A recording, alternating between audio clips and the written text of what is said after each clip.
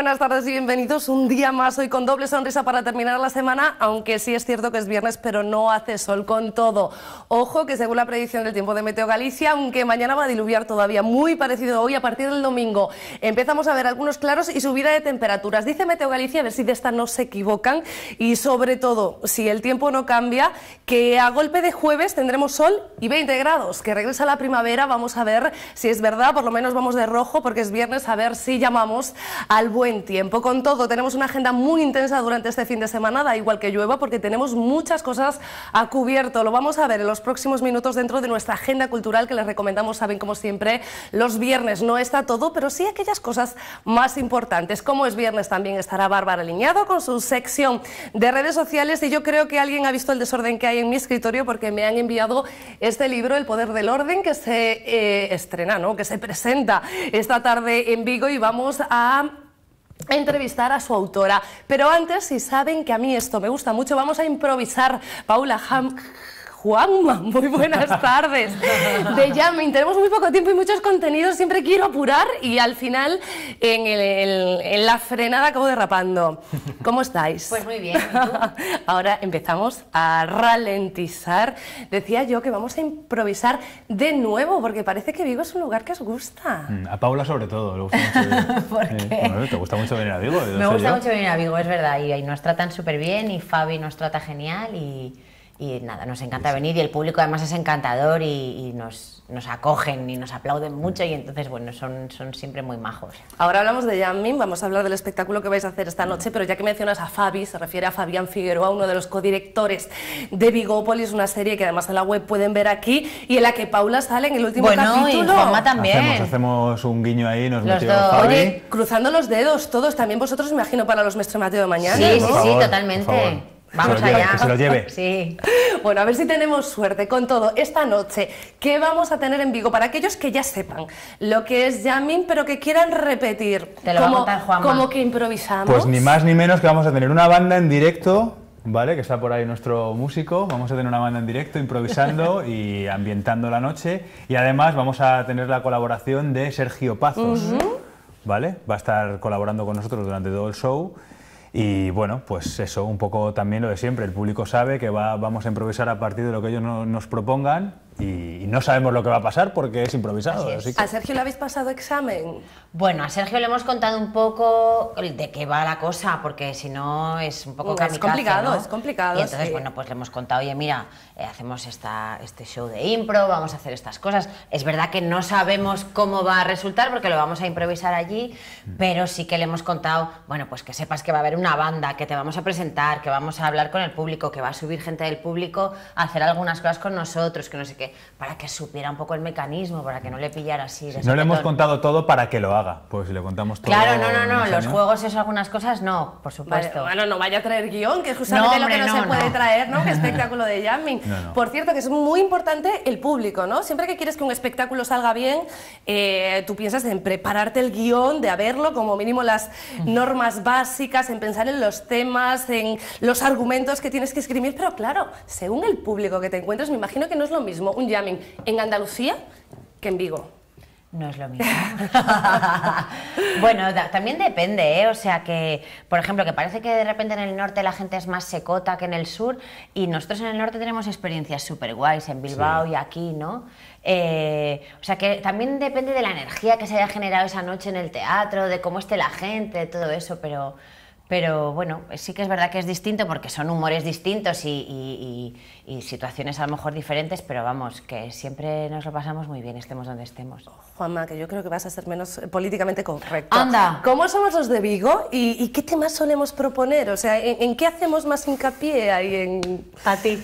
No, o sea, eh, coincido con Paula, es verdad. O sea, la gente de Vigo es, es genial y, y, ¿qué puedo decir? Me acuerdo, Recuerdo lo del alcalde, ¿no? Que subió el alcalde una ah, vez. Seguro. Cuando hicimos la presentación de Vigopolis la primera vez. Subió el alcalde, a colaborar con nosotros, eso todavía creo que se recuerda aquí. Sí. Eh, pero bueno, no, es eh, no sabría decir así algo Bueno, yo, pues mira, les preguntado, pero yo te voy a decir. Venga, al principio, me los piques. Yo, yo, tengo la sensación de que son un poco más tímidos o un poco más. Se luego arriba, y luego enseguida, cuando como que al principio es, a ver, mm. y a las dos impros hacen ¡eh, esto mola! Y entonces ya los tenemos Sí, es verdad que a lo mejor pueden meter como temas más locales, ¿no? Por Es esto verdad. que digo del alcalde o cosas de la ciudad. O nos ponen cosas en gallego que no tenemos cosas ni en idea gallego. Mm. y nosotros tenemos que defender como sea, ¿no?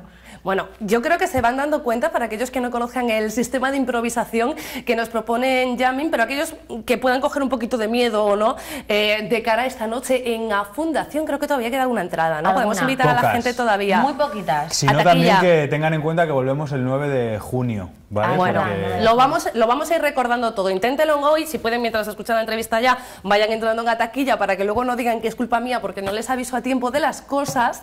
Eh, pero mientras tanto, para que los que cojan un poquito de miedo o para los que crean que no es suficientemente divertido, ¿cuál es el papel del público exactamente? Pues, Pues- el papel del público es muy importante, muy importante, Sí. porque al público es al que le pedimos las sugerencias con las que vamos a empezar las improvisaciones. Entonces, eh, nos dicen objetos, lugares, vínculos, eh, frases, refranes que les apetece, sueños que les gustaría cumplir, ¿no? Y en base a esas cosas, nosotros generamos las historias y, los, y las improvisaciones. Y además en este espectáculo que traemos eh, hoy, Hoy. la gente puede subir, solo voluntarios, los que quieran, no, Que no obligamos obligamos a a nadie, nadie. voluntariamente pueden subir al escenario y nos ayudan a crear las historias que estamos construyendo en el Eso momento. es. Bueno, pues ya lo saben, si tienen entradas o si la van a conseguir ahora, váyanse pensando alguna historia, algún suceso que quieran verse representado y aquellos que les guste estar encima de los escenarios, pues qué mejor, qué mejor que probar con dos grandes que hoy regresan a Vigo y que los tendremos de vuelta en junio. En junio volvemos a hablar, señores. Hoy los Genial. veremos sobre el escenario y nos ríen- reiremos un rato seguro. Y habrá más sorpresas, o sea, estará Sergio Pazos y más sorpresas que no Ah, es verdad, revelaremos. es verdad. Hay una solo sorpresa, sabrá la gente que Tan, tan sorpresa era, tan guardada la tenías que Sí, ya ni Que ni me acordaba, lo dije, de hecho, anda, es lo quiero verdad. dejar ahí, ahí Os, os sigo repreguntando o que se desvele esta noche mejor. Que se desvele esta noche, vamos a dejarlo ahí. Venga. Pues Juanma, Pablo, muchísimas gracias A ti, muchas gracias. Por cierto, que sepáis que estáis en nuestra agenda de la semana Mola. y la vamos a ver. Con la fiesta de la arribada que un año más conmemora la llegada de la pinta con actividades para grandes y pequeños.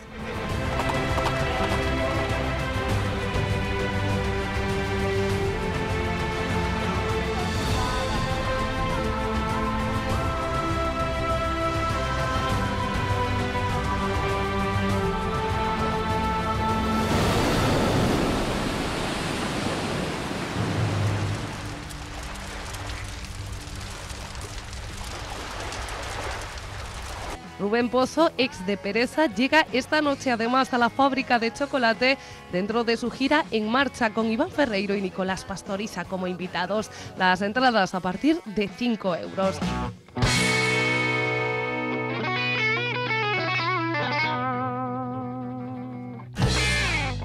Además, tenemos a la Golfa de Yamin en el Teatro Fundación a las 10 de la noche con la colaboración especial de Sergio Pasos.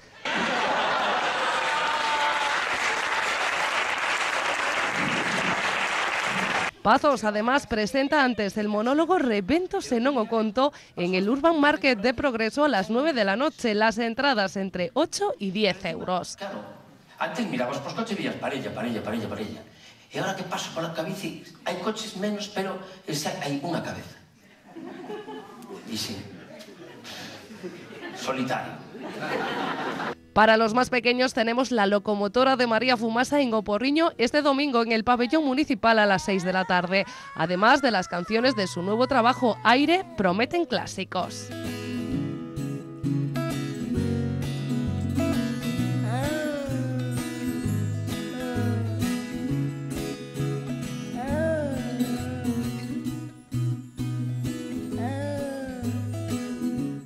En la Plaza Elíptica encontraremos este sábado más talleres infantiles para niños de 3 a 11 años, en horario de 5 a 7 de la tarde, hasta completar aforo. El valor añadido de estos talleres, que se realizan en colaboración con el proyecto La Ventana Ambulante, es que se realizan bajo criterios pedagógicos alternativos. Además, a las 8 de esta noche se inaugura la exposición de pintura Astilleros, Grúas y Puertos. Estará hasta finales de marzo en la sala 2 de la Fundación en la calle Velázquez Moreno 18. Por cierto, habrá camisetas de la exposición y su venta irá destinada totalmente al Banco de Alimentos. Y una cosa más que añadir a esa agenda cultural, la presentación esta tarde a las 8, aquí al lado, en el antiguo rectorado del Poder del Orden, una terapia contra el caos. Yo les confesaba a ustedes ya al empezar el programa que no había dejado que la autora de este libro eh, se acercase a mi mesa, a mi escritorio, porque a la pobre probablemente le daba un patatús. María Gallay, muy buenas tardes. Buenas tardes. Y no te voy a dejar que la veas. No pasa nada. Si tú te encuentras tus propias cosas, ¿no? Y no pierdes nada, no pierdes tiempo y tal, no pasa nada. Cada uno puede tener las cosas como quiera, ¿eh? Pero cuán importante es el orden, ¿verdad? Sobre todo cuando, vamos, necesitamos eh, tener un poquito más de tiempo, aprovechar, bueno, pero cada uno se tiene que organizar como, como pueda, como sepa, ¿vale? Y bueno, tratar de no, los que somos más ordenados, no molestar a los que se entienden en su propio desorden, porque luego ahí hay conflictos. Ojo, que me encantan las cosas ordenadas. Lo que me cuesta es mantenerlas. Yo Sí. ordeno, ordeno muchísimo. Me paso horas y horas y horas trabajando para ordenar cosas. Y claro, a los tres días.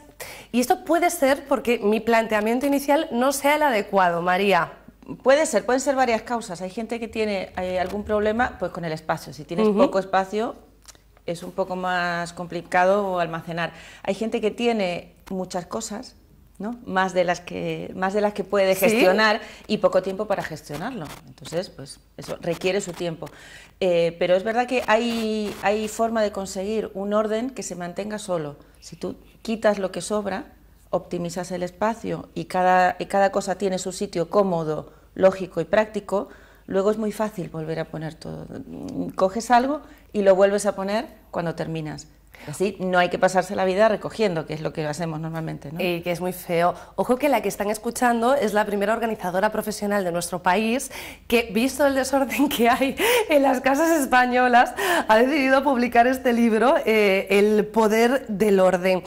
Eh, Muchas veces eh, cuando hablamos de orden, al final hay que hablar también de decoración, porque hablamos de distribución, y cuando hablamos de eso y hablamos de un orden también eh, mental, Sí. miramos a Japón. Es algo que tú también haces. Sí, sí, por supuesto. Además, yo soy una enamorada de una de sus eh, teorías de organización que se llama las cinco S. Eh, son cinco palabras en, en japonés y fue creado, eh, bueno, ya en el siglo pasado, en la década de los 50, eh, cuando empezaron las fábricas a tener cadenas de montaje. Entonces, un grupo de ingenieros mm, ideó una forma de mm, planificación y de control de cada puesto de trabajo para que lo pudieran utilizar, para empezar, el empleado que estaba allí y el que estaba al lado y el que estaba al Sí. otro lado. Pero eh, además eh, que se puede utilizar en varios turnos. Siempre estaba ordenado, se mantenía limpio, la persona estaba más contenta y además se comprobó con el tiempo que eran mucho más productivos que es de lo que se trata, pero aparte estaban mejor ellos como trabajadores y productivos para con la empresa. Y es un método que se puede adaptar a cualquier cosa. ¿vale? Eh, se usa en las fábricas, por supuesto, en las eh, bibliotecas, en los laboratorios, lo usa un montón de gente a lo largo de todo el mundo y está comprobado que funciona. Y es fácil, ¿eh? es fácil. Para el armario, para la cocina, para los juguetes de los niños, para lo que sea, se puede aplicar a todo. ¿Qué es lo más raro que te has encontrado o lo más escandaloso? No ha visto mi escritorio, lo recuerdo. No, pero no, no, no, tú no sabes lo que es, lo que es el, el desorden de verdad, porque veo muchas casas y a lo largo de todos estos años pues he visto muchos, muchos clientes. Algunos creen que tienen mucho desorden y después no hay tanto. Eh, hay muchos que creen que está todo bien y después se dan cuenta o que pierden mucho tiempo o que no encuentran, que a lo mejor compran doble, o de ropa, o de comida, o de medicina. No saben, es que hay tanto que para llegar al fondo pues no lo, y, y compras otro por las dudas. Bueno, eh, pero cosas que me haya encontrado, sí, porque, eh, a ver, trabajo también con gente que tiene verdaderos problemas, ya patologías, pues Claro. acumuladores, síndrome de Diógenes, compradores compulsivos, tienen problemas con sus familias, con los vecinos. Entonces, esas cosas no se pueden comparar a una mesa vamos, Desordenada. a una mesa que se utiliza. Yo es que sabes ¿no? lo, que, lo que me he dado cuenta, que claro, que cuanto más trabajo, más desorden hay en, encima Sí. de la mesa. Ya si consigo tener un día pues más o menos tranquilo, como que Sí. luce todo mucho mejor. A lo mejor solo eh, necesitas pues planificarte pues cinco minutos. A lo mejor, a ver, antes de irse los viernes es muy complicado, ¿no? Porque uno se quiere ir. Y, Y más si tiene los niños Y esperando en casa y te vas, por supuesto. Pero a lo mejor pues un miércoles, sabes que empiezas un poquito después o 25 minutos antes y tratar de tratar de organizarlo más que nada para estar un poco más cómoda y más práctica.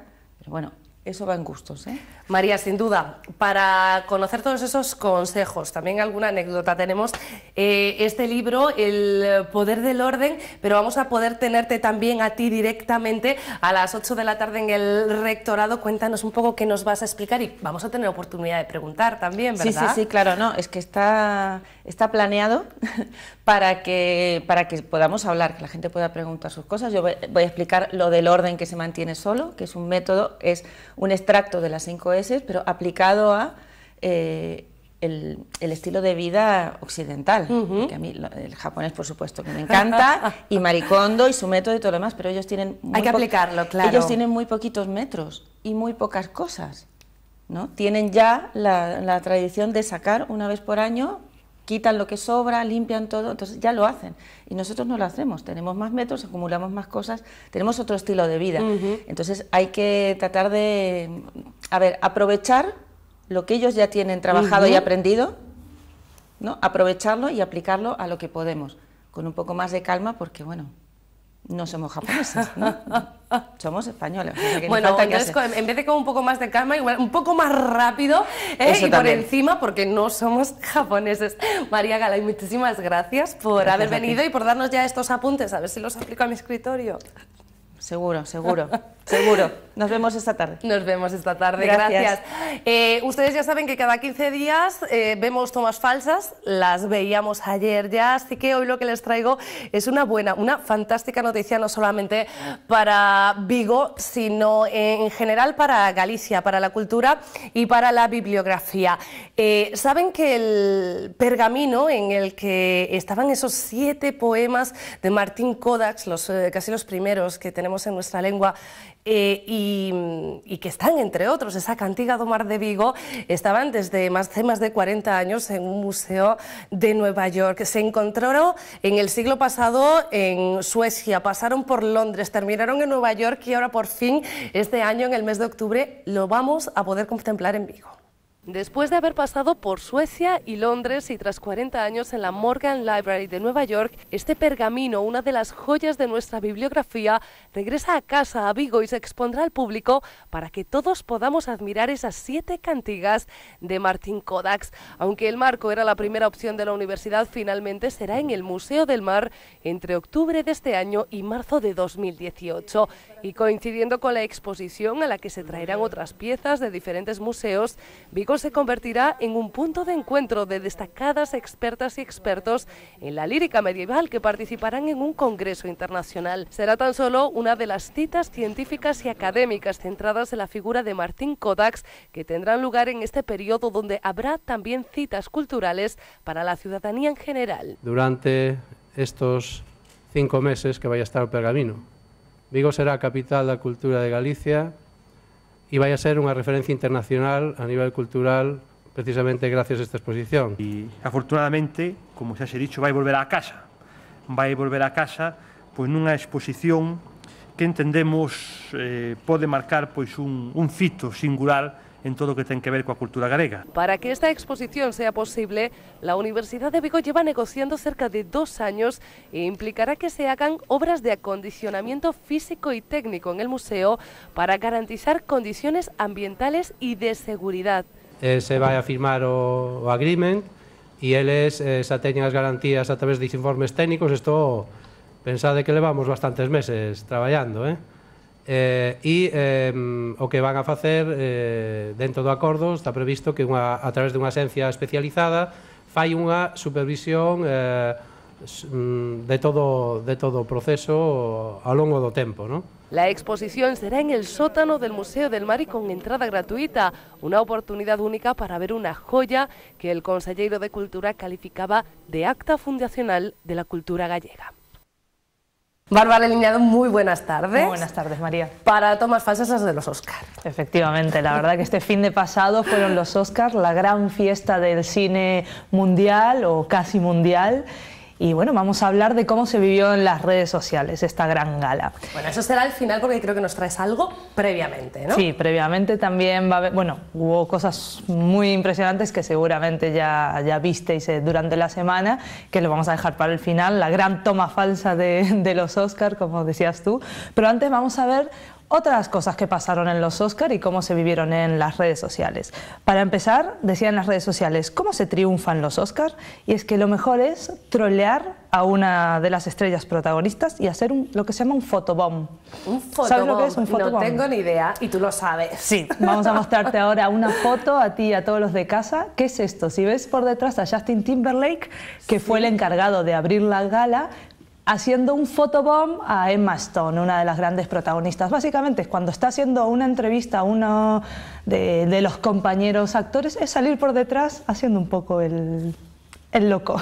Vale, o sea que esto no es un selfie propiamente dicho, No, es no, una es foto un que toma un tercero Exacto. eh, de alguien haciendo el mono, pero bueno, esto se ha hecho de toda la vida, ¿no? Todos De tenemos toda la vida, alguna fotografía ahora- de cuando éramos pequeños con algún simpático poniéndonos los cuernos o el signo pues de la esto ahora está detrás. muy de moda. Esto está muy de moda entre los famosos y bueno, en los Oscar también hubo de esto. Y en las Por redes cierto, sociales. Bárbara, hablando del signo de la victoria, eh, yo no sé si estabas el otro día cuando Rosina Landó nos comentaba que a partir de ahora queda totalmente prohibido, que eso dicen los expertos por lo menos, enseñar las huellas dactilares en los selfies o las fotografías que colgamos Fíjate. en las redes sociales, ¿no? Pues ese símbolo de la victoria en la que se ven peligroso, ¿no? perfectamente las huellas dactilares, no me las copien, por favor, eh, porque dicen precisamente que eso, que los malos malillos se encargan de, de copiarnos. Sí, fíjate, lo escuché, sí, sí, sí que lo escuché a Rosina. Pues la verdad no, no, tenemos, no tengo mucha más información sobre esto, pero bueno, la verdad es que hecha... Toda precaución es poca, por si acaso, sí, ¿no? cierto. Bueno, pues ya lo saben ustedes. El viernes que viene nos explicas más de esto. Mm, Me gustaría. Anotado queda. Otra de las cosas que pasó en los Oscars, esto fue durante la gala y que fue muy compartido el vídeo en las redes sociales, fue una sorpresa muy visual para los que estaban ahí y una sonrisa para los que estábamos en casa. Os voy a mostrar un vídeo para que lo veáis. Close your eyes and wish very hard. Go ahead, close your eyes and wish. It's Hollywood. Little bags of red vines and junior mints will appear from the sky, raining down on you. For your delight. Don't hurt each other. Sí. Eran caramelos caídos el Dig in and enjoy. Time to find out how well those spanks really work. You know, Mira que todos deseaban lo mismo, Sí, ¿no? eran caramelos caídos desde el cielo. Les comentó que bueno que hacía ya muchas horas que no comían, que es verdad, y bueno, pues les tiró unos caramelos desde el cielo. Yo creo que muchos estaban pensando que mejor que les lloviera dinero del cielo, pero bueno, teniendo en cuenta que son la mayoría grandes estrellas de Hollywood, como que lo de comer no lo tienen difícil. Cierto. bueno, era para un- una sorpresa simpática para ellos también. Y también hubo sorpresas para la gente poquito más de a pie, como nosotros, que quizás nunca podemos entrar a los Oscar, pero estos turistas tuvieron la suerte de invitarlos, desde, les llevaron en autobús, imagínate que vas por Madrid y de repente te suben en un autobús y te llevan con- a un museo, al Museo del Prado y luego a la gala de los Goya. Pues esto pasó en Estados Unidos, que los llevaron a la gala de los Oscar. Vamos a ver el vídeo. All right. Three, two, one. Mahershala!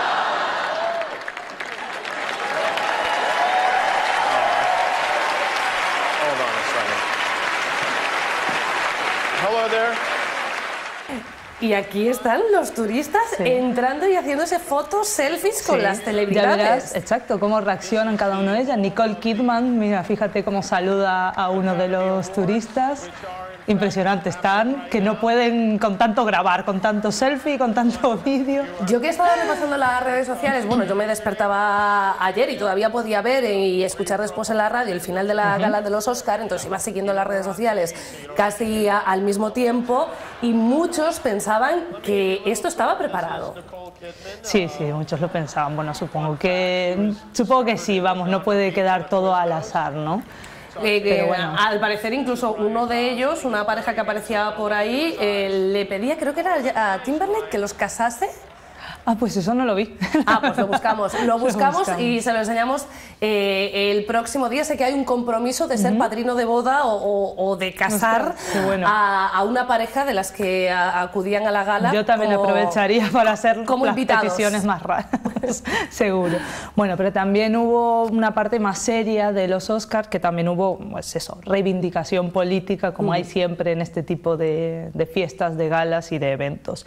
Y es que la primera en unirse fue Ruth Nega, que fue nominada a Mejor Actriz por Loving, que usó el lazo de la ACLU, que vamos a ver la foto ahora a la izquierda, es la Unión Americana de Libertades Civiles y es la asociación que lucha en Estados Unidos por proteger los derechos y las libertades. Fueron varias las que acudieron con este lazo azul eh, sobre sus vestidos de gala estupendos para reivindicar unos derechos y libertades que, bueno, en Estados Unidos en estos momentos están en duda después de las últimas mm, decisiones tomadas desde la presidencia.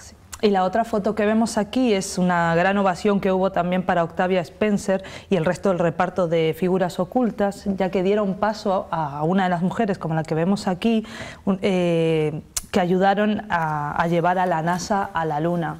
Eh, es un poco la reivindicación de esas mujeres negras que también en Estados Unidos pues, pues están en la élite y muchas veces no se les reconoce. Y el argumento de una de las películas de este año. Cierto.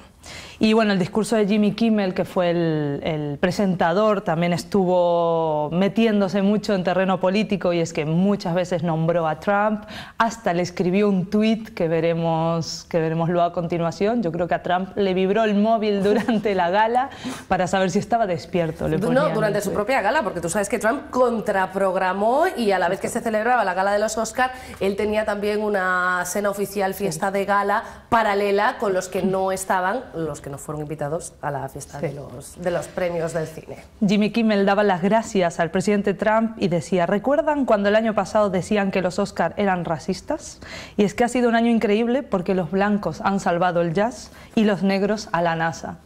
Y bueno, para esto el Oscar para la mejor película de habla no inglesa fue para El viajante. La noticia un poco la ausencia de su director que vemos aquí en, la foto, el iraní Asghar Farhadi, y leyeron el mensaje que él mandó para esto, y fue que lamento no estar con vosotros esta noche, mi ausencia se basa en el respeto a la gente de mi país y a la de otros seis países a los que la ley inhumana que prohíbe la entrada de inmigrantes en Estados Unidos ha faltado el respeto. O sea que también hubo esta reivindicación, como decíamos antes, política de, actores, directores y de todas las personas que están... Que están bueno, reivindicaciones necesarias. Pensamos, o muchos pensamos, yo entre ellos, que el tono iba a ser todavía más político y más reivindicativo, pero bueno, mm. esto de lo políticamente correcto en Estados Unidos es muy importante. Y, bueno, seguramente en unos Goya mm, la cosa hubiese salido, eh, se hubiese salido un poquito más de tono, que a veces es necesario, ojo, en mi opinión, eh, pero bueno, en Estados Unidos se lo toman todo de una forma un poco más moderada, más con respeto. Sí, todos han dicho su opinión, la verdad que todos los que han subido en general han dicho, ha habido ovación también para Meryl, Streep por supuesto. Eh, en apoyo a ella y a todo lo que ha pasado con Trump, ¿no? que la, decía que era una actriz sobrevalorada, etcétera. Entonces, bueno. Y vamos a ver ahora el tweet que os comentaba, que, que, envió Kimmel desde Twitter a Hey Donald Trump, are you up? Que significa estás despierto, estás levantado a estas horas. Ha sido de lo más comentado también eh, en Twitter. Y lo que hablamos hace un momentito, la gran comentada de la noche, fue ese error, ese error fatal, la verdad, pero bueno, al fin y al cabo somos humanos ¿no? y, y se les puede perdonar. A mí Mm, al fin y al cabo me dio pena y un poco de risa también, porque, porque estas cosas dices, no, puede ser que pasen. Fue, como, como, un error continuo, ¿no? O sea, se, enlazaron una serie de errores, muchos llevábamos hablándolo desde ayer eh, o desde este lunes, queríamos decir, durante toda esta semana. El primero, eh, eh, el error se entiende que es de aquella persona que se equivocó de sobre y, se lo daba equivocado. El segundo, del que no se atrevió a ver que aquello era un error. Y el tercero, del que permitió que la gente subiese a agradecer antes de parar la gala y decir que, que no, que no suban, que, fue, hay un problema. Fue todo, yo creo que la gente se quedó tan impresionada que, que siguieron para adelante hasta que alguien dijo, bueno, Basta, vamos a ver alguien qué ha tiene que decirlo, ¿no? Esta falsa no, esa farsa no puede continuar. Pues vamos a ver el vídeo ahora de, de, lo que ha pasado exactamente para que, para que os enteréis un poquito más, aunque seguramente ya lo sabéis. I want to tell you what happened. I opened the envelope and it said, Emma Stone, La La Land. That's why I took such a long look at Faye and at you. I wasn't trying to be funny. Explicaba su propio error, ¿no? Sí, pobre. Bueno, pues eso, que se ha equivocado al nombrar la mejor película, que es uno de los premios más importantes de los Oscars, si no el que más. Y bueno, nombraba La La Land, que era la esperada por todos en realidad, Yo creo que fue un poco ya el subconsciente, ¿no? Que lo tenía asumido de que era La La Land, Bueno, pero y fue porque el muy sobre ponía La La Land, cierto es que era el premio a la mejor De- actriz de que ya Emma se Stone. había entregado y él se daba cuenta al leer Emma Stone, pero bueno, Claro.